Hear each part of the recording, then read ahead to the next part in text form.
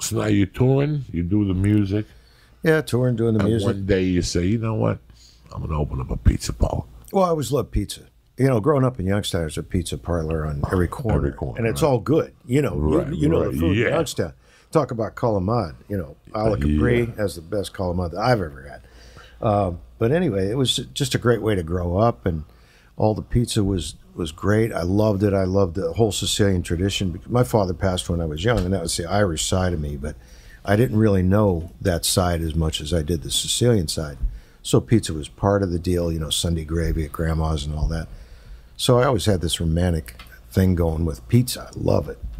And then uh, as I started to tour, you'd get some shit pizza, and then you get some really great stuff. And we call it bus lobster because it shows up far too often. And uh, so I just started to think about it. And then I, what I found out through investigation was there was so much cool stuff going on out there that I started to go to the Pizza Expo and really get into it and become familiar with the guys that were the top dogs. And that's kind of what precipitated this. And then, you know, part of getting older, as we said before, is you think in terms of a little bit more longevity and a legacy. And it, you know, I'm probably not going to be as popular as, uh, you know, Mick Jagger in this lifetime. So what am I going to leave for my kids? And so it just kind of all melded together, and I got interested in it and started doing it. And then the boys are in it, so it's just like a shoe in. And who did you get to help you teach you how to make the pizza? The pizza. I studied a lot with the guy Tony Gemignani I told you about. Uh, learned a lot from him, but I've gone everywhere. I've I've studied with the Hunt brothers who teach a Detroit style. Not necessarily teach. These guys are not all necessarily instructors, but they all have a, a great amount of knowledge. Uh, Michael Lamarck in Cleveland, Ohio, great pizzaiola. There's just a ton of them. So I would go study with these guys because I'd meet them all on the road. Because you I'm in these study, cities. you would go with them and make a few pizzas. Yeah, bullshit, I go to their place. beer. I'll go to their place for a couple days, and if they'll have me, I'll stand around and watch them make pizza. So I just kept going. What style are you going for right now? Who out of all the styles? Well, that's our thing. I, we're into a multiple style thing. So we do Sicilian, New York, Ohio, Detroit, uh, Neapolitan. So we're into this multiple style thing. And I thought I invented it. So I'm looking around. Nobody's doing this because everybody wants the pizza that they grew up on. It's the best friggin' pizza on the planet. So I thought I was going to do that and invent it. And then I found this guy, Tony, and I approached him and said, Hey, man, you stole my idea. And uh, we became friends because of that. And so I'm into the multiple style. Is Detroit good? I haven't I haven't tried it, but I, I've people have been t- telling me about it recently. It's like a like a thick, kind of like crispy sort of. Yeah. it looks cool. I've never had it. It's amazing because it's uh, you know it's a medium thick crust, but it's got this caramelized cheddar cheese that comes down the sides and just like a toasted cheese sandwich, and then you got the mozzarella in the middle, and then the racing stripes of the um, uh, sauce and everything, and then of course your your toppings. But man, it's just a great style. It's light. It's not heavy. Like you think it's going to be a big heavy pizza.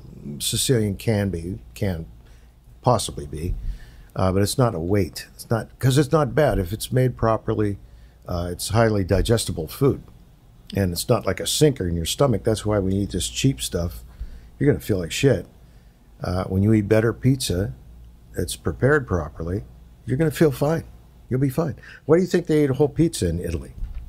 They sit down with a knife and fork and eat the pizza, and they eat a whole pizza, Neapolitan pizza, because it's so well proofed and you know made digestible.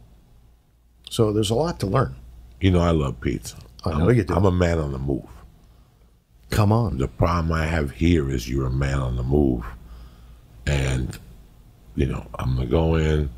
The guy's gonna come up to me. I gotta tell him what I want. He has to write it down, put it on a note.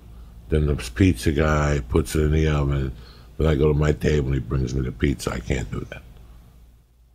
You want to come back in the kitchen and cook it? No, I want the guy that I give the money to to give me the fucking slice once and for all. Give me the slice. While I'm talking to him, he's going, "What do you want? Two cheese."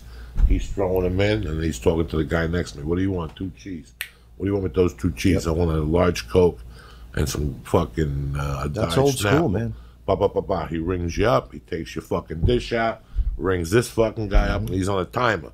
He's on a timer in his mind. And all Right. of a sudden, he looks at yours, he pushes it over, pushes this one to the side, closes the oven. He goes, "What do you think about those Knicks?" Yeah. And then you tell him they suck dick. They cost me a hundred dollars. and then he turns around and he gives you two fucking slices. Yeah. But I would go to a place in Hollywood where they had to give it to the fucking Mexican, and the Mexican had to run it back to the other Mexican, and then go back to Tijuana, Yeah. and then they'd fucking walk it back. That's not a slice. A slice is on the move. If I come to buy a pizza, yeah, then I sit down. But when I come in here for a slice, get two fucking plastic dishes, put them together, Yeah. put the slice and fold it and just give it to me. Do not put it in a bag. If you put it in a bag, a tree died because you put it in a bag. what are the chances of this pizza making it home? I'm 300 fucking pounds. What are the chances of this fucking slice making it home? Why are you giving me a fucking bag for? I don't need it. I don't need it. I'm Gonna eat it right now. That's right. It's like sushi. Eat the damn thing When I out go of eat oven. sushi and I see people, hey, hey, can I take this home? Listen, come here. go in the bathroom. There's Windex. Just drink that because that's what happens when you bring sushi home. It's made to eat right fucking there. The same.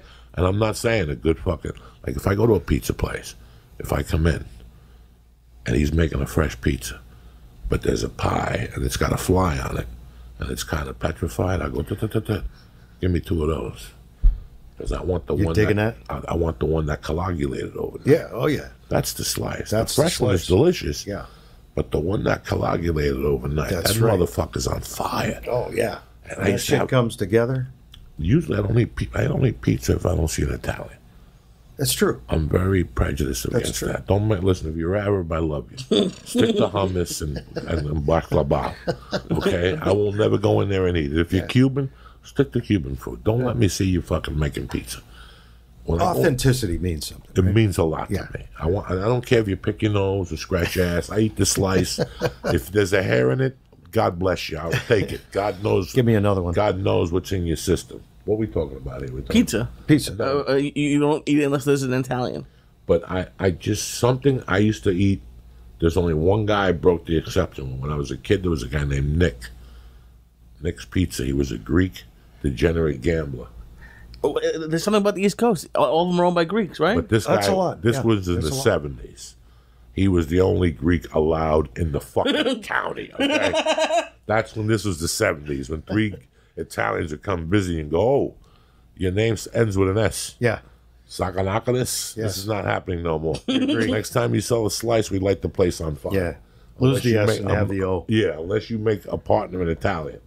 So it'll be Nick's and Joe's. or Something Uh, I'm serious. Like people would not go to your pizza place. What's the place we saw on the way over here? It was uh, Middle Eastern and uh, pizza. Yeah, no, I don't go. Italian, right? I got Middle nothing against Eastern and- Middle Eastern people, but stick to what you know. No, Pick no, a but flag. Make the kibbe. Make, you know, make Pick a flag. that's something that's Yeah. indigenous. Uh, you know. Pick a flag. No, I mean, no, I'm no, lucky no. to get away with this last name, the Irish last name, but my mother's name is Jen. No, I could tell that you, know. have the thing in you. Like, even my brother, when I went home, he goes, "I went to this sushi place one day, and I asked them about Japan, and they said they didn't know nothing about Japan, and they were Koreans, and never went back again."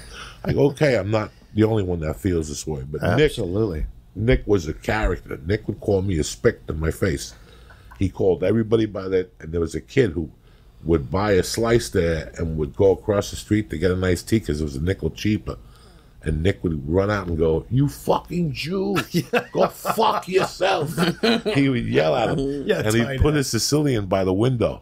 So we called it the Sicilian International Airport because all the flies would come in and land. That was their. That was Oh, their. man, uh, that was their takeoff and runway. Yeah. that's where they would load up. You could see the other flies loading the guys That's their landing cheese, pad is a nice and they would fly, pie. and there was a fan right by it. So the flies had to get off the pie and then go through the fan without getting their hot head chopped off.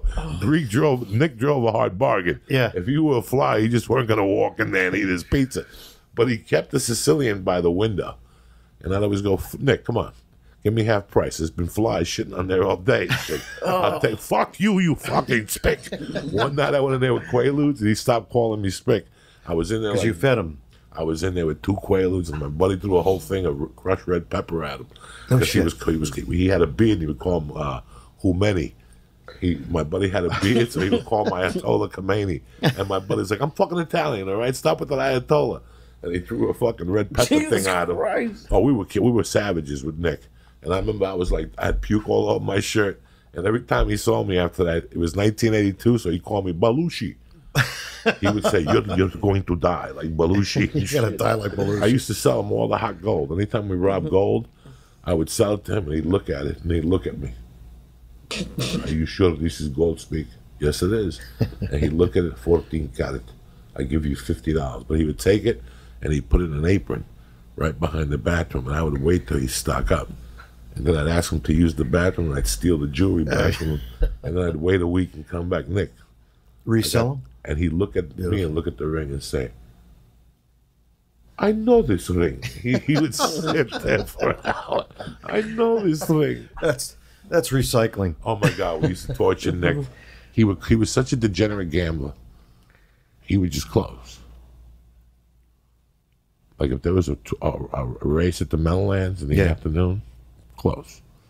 Be back in one hour. You gotta go. and he would come right back. Now, when I went to shoot the Soprano movie in New York, we shot in Bay Ridge, Brooklyn, and the guys were like, "We're going to this pizza place this afternoon." But before we could go, the father still runs it. It's like the best pizza in Brooklyn. It's been there for Oh, Di Fara. a hundred years. And Yeah, the guy's Di Fara. ninety years He's old. still there. and he makes his own pizza. Does not let his sons touch the pizza. He makes the pizza. The son walks the slice right. out, or he he'll walk the pizza out from the kitchen. The sisters at the counter, and Dom DeMarco is still standing there. It takes so long to get a slice. You can wait two, three But I, hours. I heard that there's times he has to take a nap oh yeah. because he's so old. Oh, he's got to be in his like You're 94, right. He's 95 94, now. 95. Yeah. So you'll go there and the thing says closed and you'll see his two little feet hanging from one of the benches. He just decides to take a little You gotta nap. go there though. That's history. That's pizza. I know history. we were going to go, but they said it's closed. We only had an hour for lunch. It was a half hour drive. Oh yeah, no, no, you got to wait. You gotta Yeah, so we were already up there. It's not like I was making the trek from Manhattan to Brooklyn, which is no big deal. Yeah. But we were shooting a movie. They were like, let's go to that pizza. It's a mile from here.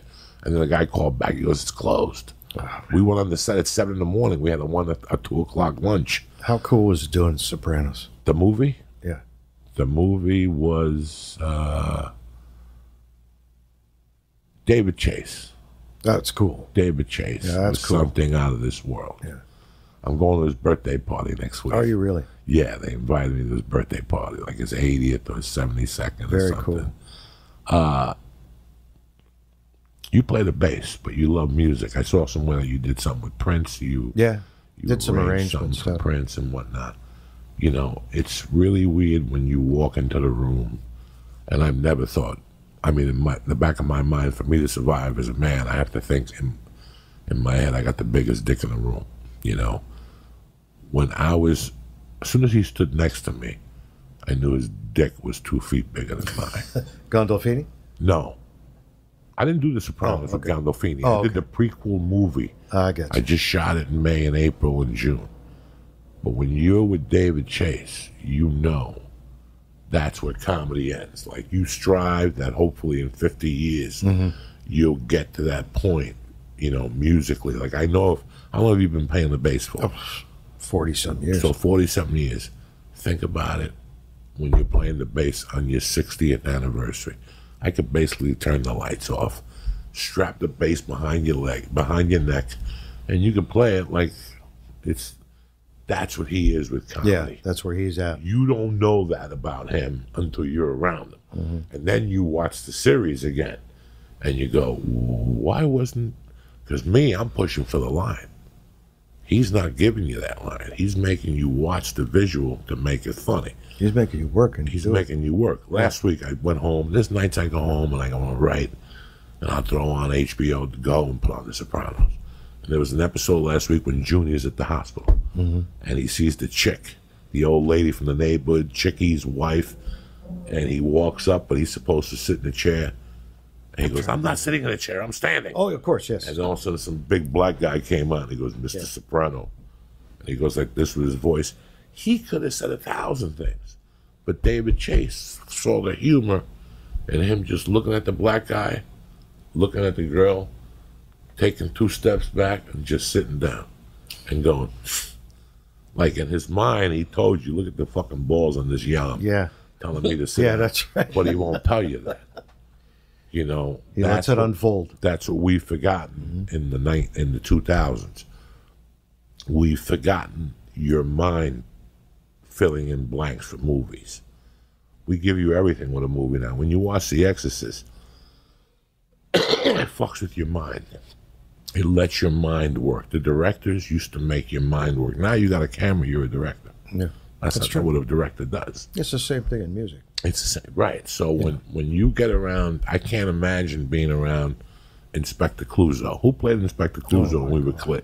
Peter Sellers. Yeah. He's the while, correct while one. he was shooting the Pink Panther, if you weren't there taking notes, you know, uh, when I see planes, trains, and automobiles, I don't.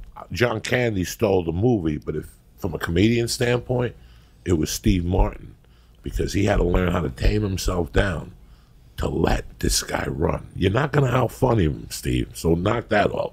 This guy could out funny you in a heartbeat, but he took his comedy and showed it to you in a different way. Right. You know what I'm in the mood to watch lately? What's that? Tomorrow night, My Blue Heaven. Oh, I haven't seen that in a watch long time. You watch? When my when my mom was here, we watched that movie. How great is that movie? It's pretty. I, I'm. I, it was. Uh, I never heard of it, but oh it's my pretty God! great. Remember, you married her. Yeah. It Remember- probably didn't get a lot of notoriety, did it? I don't know what year it came out, but it was just, it just didn't do it. Yeah. To me, those are comedy masterpieces. When I saw Eddie Murphy Delirious, I knew that was a com- when I saw Dice Clay's special. I I knew love it was something Dice. special.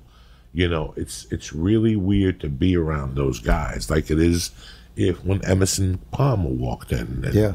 or you know when uh, what would happen when BB King walks in? He looks at you and he goes, "Tune in an A," Yeah. and you're standing there going, "Tune in an A." I'm about to fucking shit my pants and puke. this is BB, King in the fucking room. Yeah. You know? So You're sitting with that's one of just the to let you like know. people, yeah. like what you said, you know, Jack White, whatever. You're just happy to fucking see these people. Oh, so yeah. It's, uh, I never liked Roger Waters. I No. his fucking ego overpowered. We spoke about ego on Monday. I don't like ego. I don't like I don't- I don't deal with it. ego. I don't care what it is. I never who liked you are. the fucking ego on the other prick that broke up because he broke up Pink Floyd. Another fuckhead broke up the police. That fucking Oh, Sting. Uh, stay. That ego of a cocksucker. you know, you know, all those egos have always fucking killed me. Those Egos will screw up everything, man. but now with music, it doesn't seem like the egos are there no more. These people are just happy to be out there. Whether it's Pat, whether it's Lynyrd Skynyrd, whether it's, uh, you know, I, I speak to Rudy a lot. Rudy goes on the road with Lovin' Spoonful or one of those. Rudy Grand does? Funk Railroad. Oh, Yeah. Grand Funk. Is One he of playing with Grand Funk? Yeah, one of those. Oh, He's- that's cool. You know, last year it was uh, uh, the band from Seattle. Not Soundgarden, not Nirvana, not the other one. The other one. Who's the other one from Seattle? Ah, I will lead you close to you. Ah, I will help you see it through. They, when I silent lucidity, dun, it? dun, dun. We're all drawn a Put blank. on silent lucidity. I forget the name of the band. He played with them for a couple tours. You know, He's a busy guy. yeah. You know, he's in He's the a working seventies. musician. Is he really? He's got to be 67, 70. Okay. I guess we're all getting older. You know, he's got a radio show, the music. You know, so I mean, Queenshire. Queen Queensryche. Oh, Queensryche. Queensryche. Yeah. So he- I know he was on road with Queensryche. He does the. It's amazing how you're not that distant anymore as a musician. When you and I were growing up, Led Zeppelin was a year away. They were a pond away. We live in a, a world today where if we try hard enough, Jimmy Page just might answer you back on Twitter. You never know. Or Dave Gilmour just might answer you back on Twitter. Or, you know, Or Joey Diaz. or Joey Diaz. or fucking Mick. Where'd I meet you at church? Church, yeah. what the fuck are you giggling about? No, Why did you like him? What did an error. I knew a second ago, but now keep just keep going from where you told it, because then. You know that little forehead you got?